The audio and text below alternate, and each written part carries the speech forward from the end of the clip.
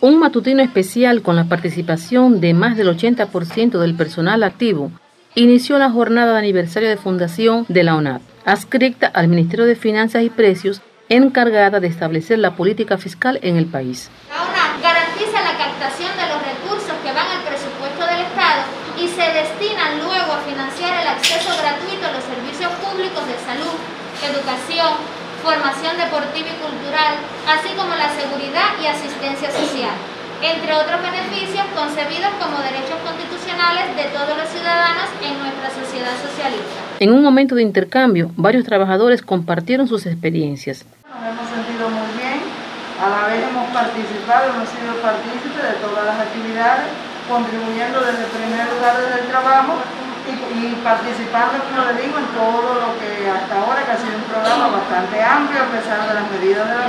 Hemos cumplido las medidas y además cumplido con todo lo que nos hemos programado para la fecha.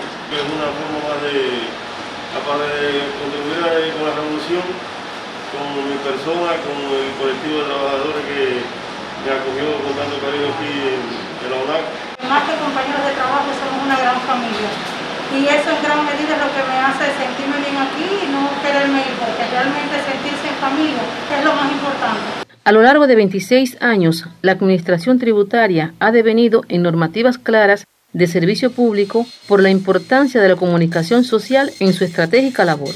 Pedro Zamora y Virgen Mustelier, Noticias 66.